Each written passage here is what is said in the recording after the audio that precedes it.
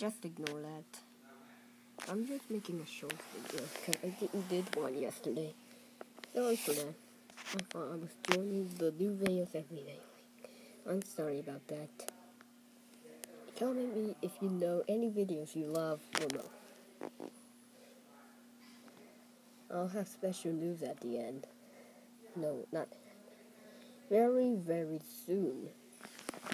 Right now I'm working on this 20th Century Fox model.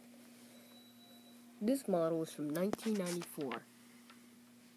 You can watch a render review of it. Evan James, uh, what's his name again? Well, whatever.